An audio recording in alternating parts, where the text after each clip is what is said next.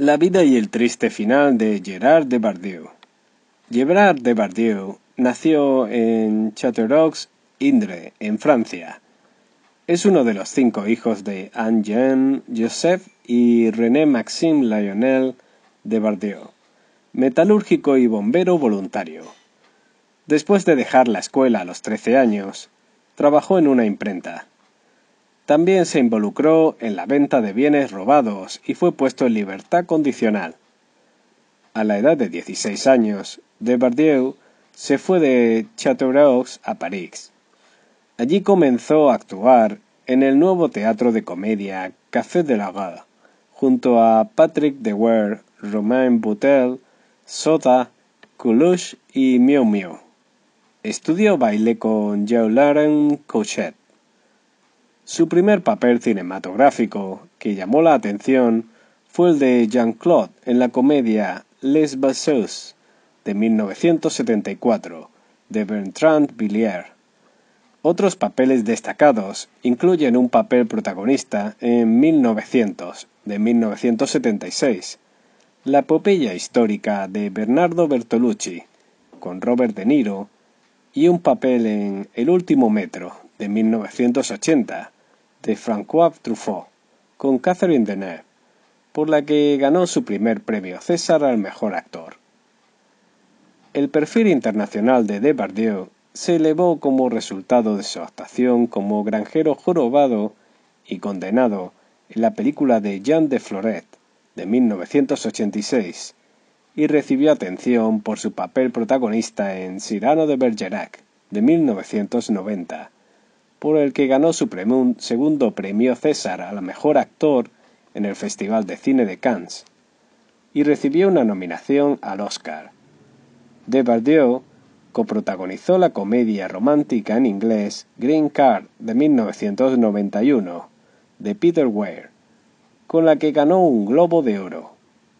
Desde entonces ha tenido otros papeles en otras películas en inglés, incluyendo 1492, Conquest of Paradise de 1992 de Ridley Scott, Hamlet de 1996 de Kenneth Branagh y Life of Pi de 2012 de Ang Lee.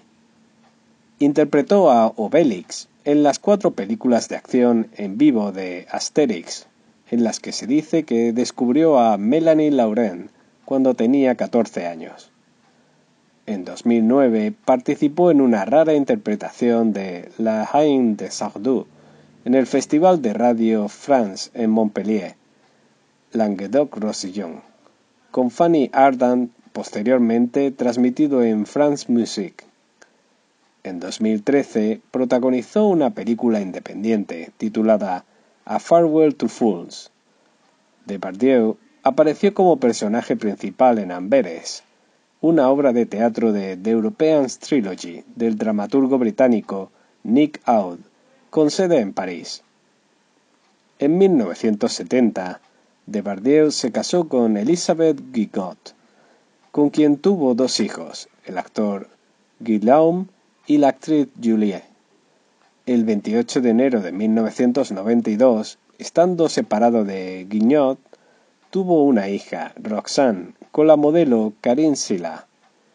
En 1996 se divorció de Guignot y comenzó una relación con la actriz Carole Bouquet, quien fue su pareja de 1997 al año 2005. Depardieu con Vladimir Putin en Sochi, Rusia, 5 de enero del 2013. El 14 de julio del 2006 tuvo un hijo, Jan, con la franco-camboyana Hélène Bissot. Desde 2005, Depardieu vive con Clementine Higo. Se sometió a una cirugía de corazón en julio del 2000. El 13 de octubre del 2008, el hijo de Depardieu, Guillaume, murió de una neumonía a la edad de 37 años. La salud de Guillaume se vio afectada negativamente por la adicción a las drogas, y por un accidente de motocicleta en 1995 que finalmente requirió la amputación de su pierna derecha en 2003. Depardieu y Guillaume tuvieron una crisis de relación, pero se había reconciliado antes de la muerte de Guillaume. El 16 de agosto del 2011, Depardieu orinó en una botella mientras estaba a bordo de un vuelo de CityJet con destino a Dublín mientras rodaba en París. El incidente se atribuyó a una incontinencia urinaria provocada por un problema de próstata con el asistente de vuelo que no le permitió levantarse de su asiento para ir al baño porque la aeronave ya estaba en movimiento. En agosto del 2012 fue acusado de agresión y por golpear a un automovilista en París. En agosto del 2018, Debardieu fue acusado de agresión sexual y violación por una actriz y bailarina de 22 años. La actriz informó haber sido agredida dos veces por Debardieu, en su casa durante las sesiones de ensayo. La actriz, no identificada, hizo su declaración a la policía en Lambesc, en el sur de Francia, luego de lo cual el caso pasó a los fiscales de la capital. Depardieu negó las acusaciones. En 2019, los cargos se retiraron después de una investigación policial de nueve meses, pero en octubre de 2020 el caso se reabrió luego de que su acusadora volviera a presentar la denuncia. En febrero de 2021 se anunció que las autoridades francesas acusaron a Depardieu de violación en diciembre del 2020. Muchas gracias por escuchar la historia y vida de Gerard Depardieu. Les deseo a todos buena salud y felicidad y nos vemos en los siguientes vídeos.